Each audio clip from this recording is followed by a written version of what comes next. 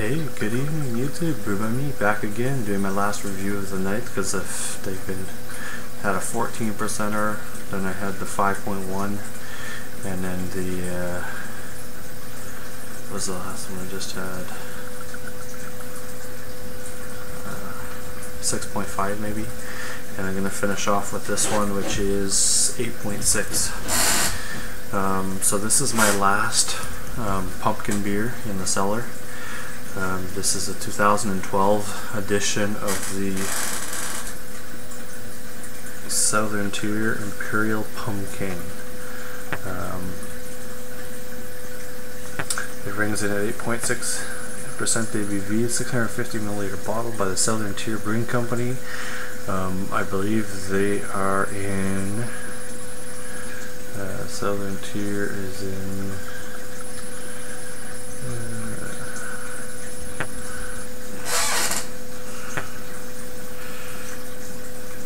Lakewood, New York, USA. USA. So that's a pretty cool looking label.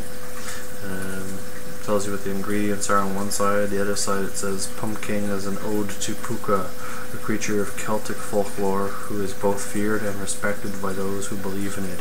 Puka is said to waylay travelers throughout the night by tossing them on its back and providing them the ride of their lives. It is a journey from which everyone returns forever changed. Now there's some more, but I'm not going to read it. It says to use a gauntlet, serve at 4.4% ABV, your standard Southern Tier caps. I'm going to have a bunch of Southern Tier beers coming up, obviously. Um, so we'll see. Uh, I'm going to use my Duvel sifter tulip glass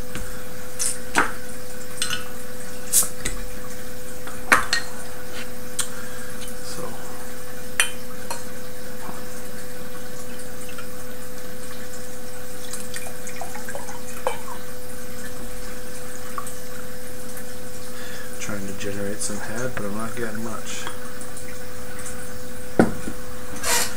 This glass almost fit the whole freaking bottle. That's how big is. So, it's a nice orange in color. There's a half a finger ahead, tiny bubbles as you can see, nice carbonation. There you go, that's what it looks like. Let's give it a smell.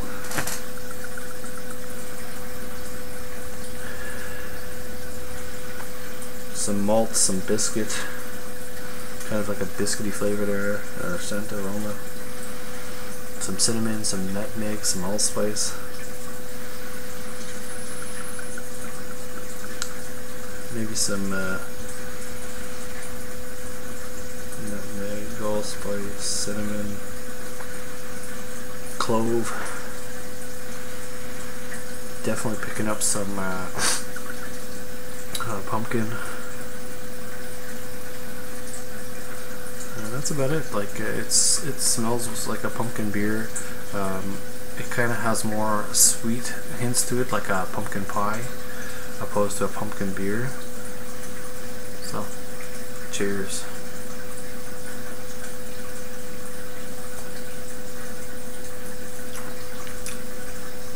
Yeah, this is tastes like pumpkin pie.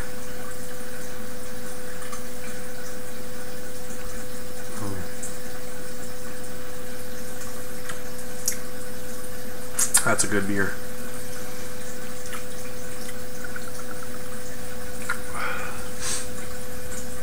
Alright, so you take a sip of this, tip of your tongue, nice sweet malt presence there. So it rolls across the tongue, kind of get like a, a biscuity, bready kind of characteristic, um, followed by like a that nice uh, pumpkin pie spice mixture, the cinnamon, the nutmeg, the clove, the allspice, kind of like that. Hits the back of your tongue. It dries up fairly nice. You get some of the pumpkin throughout the whole mouthfeel. Um, this is more like pumpkin pie in a glass than a pumpkin beer. Now, I guess you can break it down in two or three different categories of pumpkin beer. Like you have your pumpkin beers that actually taste like pumpkin pie or pumpkin pie in a glass. Then you have oh, some of your pumpkin beers that are like um, all spice, no pumpkin. and then you have so the third category would be lots of pumpkin, not enough spice, and uh, yeah. So, but this is a good uh, mix of all. Um, definitely, definitely worth a try if you guys can find it. Southern Tier Imperial Pumpkin. It's a pumpkin beer brewed near, well, brewed I guess September, October, um, for Halloween. Um, yeah, it's a delicious beer. Um, I highly recommend it uh, if you want to try a good pumpkin beer. Definitely worth a try. Um, not much more I can say. It's definitely a really good beer. I enjoy it thoroughly. I can drink this. I can drink another one of these if I really wanted to. It's that good. Um, so, yeah, there you have it. Like I said, uh, you've got uh, some uh, two-row in there, some caramel crystal malt in there, some biscuit malt in there, maybe some Carafoam, Carapils, Dextrin, that type of malt in there. Um, you got some pumpkin in there, you got some nutmeg, allspice, cinnamon, clove, uh, maybe some brown sugar in there. Um, hop profile, it's kind of like a earthy type of, of, of bitterness to go along with the pumpkin, which is a, you know, it is a, a squash, um, grows on the ground, earth, you know. So cheers.